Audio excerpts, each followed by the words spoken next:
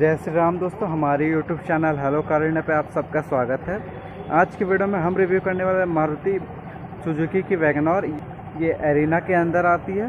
ये एक हैचबैक है, लेकिन देखने पे ये SUV ज़्यादा लगती है। अगर हम इसके फ्रंट प्रोफ़ाइल की बात करें तो फ्रंट प्रोफ़ाइल कुछ इस तरह की ये जो सामने देख रही है। यहाँ पर ग्रिल हमें डुअल लाइनिंग में ग्रिल मिल जाते हैं। यहाँ पे सुजुकी की ब्रांडिंग अगर हेडलैम्प सेटअप की बात करें तो यहाँ पे एलोजन रिफ्लेक्टर बेस्ड हेडलैम्प मिल जाती है। यहाँ पे हमें इंडिकेटर फॉग लैम्प का ऑप्शन हमें टॉप वेरिएंट में मिल जाती है। ये हो गई इसकी रेडिएटर ग्रिल अब अगर हम इसकी साइड प्रोफ़ाइल की बात करें तो साइड प्रोफ़ाइल कुछ इस तरह की है। इसमें हमें मैनुअल एडजस्ट और भी मिल जाते हैं। यहाँ पे फेंडर में हमें इंडिकेटर मिल जाती है। अगर टायर की बात करें तो टायर कुछ इस तरह की है व्हील कैप मिल जाती है। यहाँ पे हमें सुजुकी की ब्रांडिंग अब अगर हम इसकी प्रोफा, टायर प्रोफ़ाइल की बात करें तो इसमें हमें इसमें हमें 165 17 और 14 इंच की टायर मिल जाती है। फ्रंट में हमें एक डिस्क ब्रेक मिल जाती है। ये हो गई इसकी साइड प्रोफ़ाइल बॉडी कलर में हमें डोर हैंडल मिल जाती है। इसमें हमें लीटर का फ्यूल टैंक कैपेसिटी लीटर का फ्यूल टैंक कैपेसिटी मिल जाती है। अब अगर रियल प्रोफ़ाइल की बात करें तो रियल से ये काफ़ी ऊँची सी दिखती है। ये काफ़ी ऊँची दिखती है। ये बेस्ट वेरिएंट होने के कारण इसमें हमें कोई भी स्पॉइलर नहीं मिल जाए टॉप में जाए तो हमें एक स्पॉइलर का भी ऑप्शन मिल जाता है। रियर वाइपर डिफॉगर भी मिल जाता है। इसमें अभी फ़िलहाल कोई भी वाइपर डिफॉगर का ऑप्शन नहीं मिलता है। यहाँ पे वैगनॉर की बैचिंग क्रोम में, यहाँ पे सुजुकी की ब्रांडिंग क्रोम में मिल जाती है। दो पार्किंग सेंसर दो रिफ्लेक्टर हमें मिल जाती है नीचे। रेलम सेटअप की बात करें तो ये पूरी हेलोजन में आती है यहाँ पे स्टॉप लैंप मिल जाती है ये हो गई इसके इंडिकेटर ये हो गई इसकी रिवर्स लाइट ये कुछ इसकी हो गई ओवरऑल लुक फेंडर में हमें इंडिकेट ओआरवीएम की बात करें तो ये मैनुअल ओआरवीएम मिल जाती है। ये अभी स्टॉक यार्ड में होने के कारण इसमें फ़िलहाल कुछ डस्ट जमी हुई है।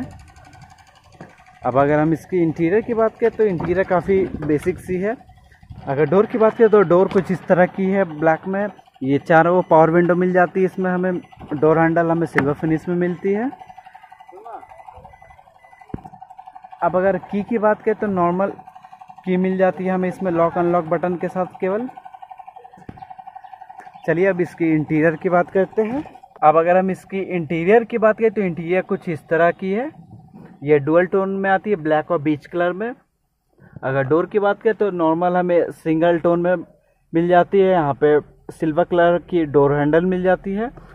Manual adjustable I R V M यहाँ पे हमें एक हेलोजन लाइट मिल जाती है। अगर सनवाइज़र की बात करें तो को पैसेंजर साइड हमें वैनिटी मिरर मिल जाती है।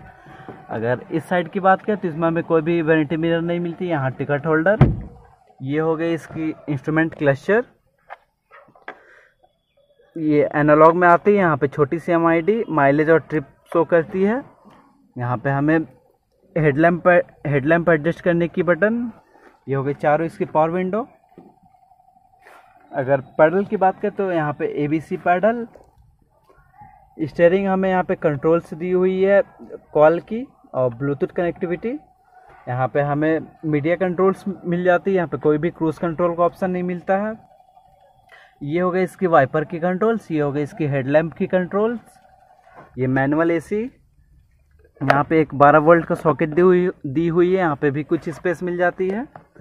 अगर गियर बॉक्स की बात करें तो इसमें हमें फाइव मैनुअल गियर बॉक्स मिल जाती है। अगर इंजन की बात करें तो इसमें वन लीटर का पेट्रोल इंजन मिलता है। ये सी एन जी में भी अवेलेबल है। अब अगर इसके ग्लब बॉक्स की बात करें तो ग्लब बॉक्स में कुछ इतनी स्पेस मिल जाती है। ये हो गई इसकी A C vents manual adjustable I इसमें हमें फ्रंट में दो एयर बैग सिर्फ़ मिल जाती है। अगर स्पीकर की बात करें तो सिर्फ़ हमें यहाँ पे दो स्पीकर मिलती है। कोई भी ट्विटर का ऑप्शन नहीं दी हुई है। ये हो गई इसकी हैंड ब्रेक अगर यहाँ पे एक पोटा होल्डर का भी ऑप्शन मिल जाता है हमें। यहाँ पे कुछ स्पेस कॉइन के लिए। अब चलिए इसके रियल प्रोफ़ाइल की बात करते हैं। इसमें अगर इसकी की की बात करें तो नॉर्मल सी की मिल जाती है, हमें लॉक अनलॉक बटन के साथ सिर्फ़।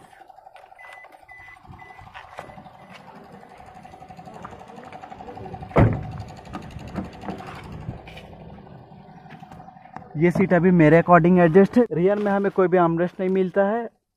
सेम ब्लैक बीच कलर में यहाँ पे विंडो कंट्रोल्स यहाँ पे डोर हैंडल हमें सिल्वर कलर की मिल जाती है।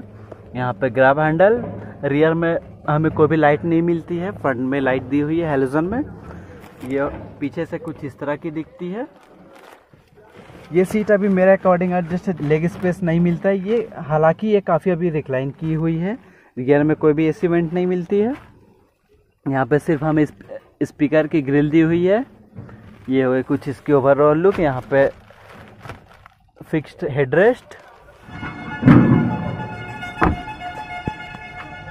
अब अगर इसकी बूट की बात करें तो इसमें हमें कुछ 300 लीटर स्पेस मिल जाता है। पार्सल ट्रे इस, इस वेरिएंट से ही अवेलेबल है। अगर हम रियर में हमें कोई भी लाइट नहीं मिलती है लगेज लैम्प अगर इसकी स्पेयर व्हील की बात करें तो इसमें हमें स्टील रिम मिल जाती है। अगर टायर प्रोफ़ाइल की बात करें तो सेम हमें 14 इंच की स्पेयर व्हील मिल जाती है स्टील रिम के साथ। ये हो गई इसकी कुछ टूल, यहाँ पे पार्सल ट्रे। ये हो गई कुछ इसकी बैक प्रोफ़ाइल